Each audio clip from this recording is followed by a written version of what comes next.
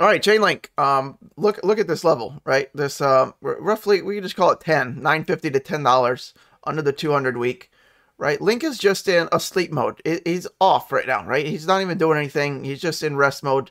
He'll have plenty of upside once we get above 10. So as as hard as it might be to wait uh, another 30% for a $10 Chainlink, that's the safe level, right? We could be down here for uh, two more months. We could be down here for two years. I don't know, right? Neither do you or anybody else.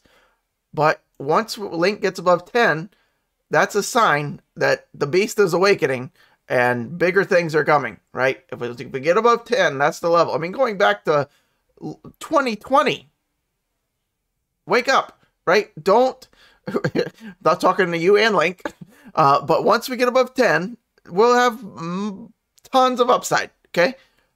It's it you're um doing yourself an injustice being in Link right now because there will be other coins that outperform it between here and there, right? 30% for Link, other coins will probably do, you know, a few hundred percent, right?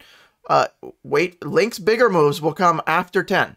So just from me to you, uh my opinion, right? You can like it or not, and if you want to get in Chainlink at 7 and just roll the dice that it might it might take a year for Link to get above 10. It could take next week, right? That nobody knows, but for the odds, for your best interest and your, you know, your wallet, uh, I would say there's be other coins outperform Chainlink until Chainlink gets to 10. After 10, all bets are off and Chainlink could wake up in a massive way, like one of these guys, right? That's what we're hoping for. But until 10 is recovered and closed above, we're not going to get it.